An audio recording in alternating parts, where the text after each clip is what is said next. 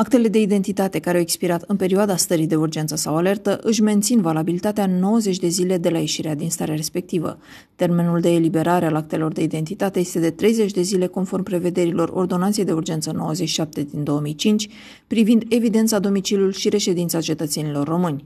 Serviciul Public Comunitar Local de Evidență a Persoanelor Călărași a reușit totuși să elibereze actele de identitate solicitate într-un termen de doar 5 zile. Călărășenii sunt rugați să aibă înțelegere actele de identitate eliberându-se în continuare conform prevederilor legale în vigoare.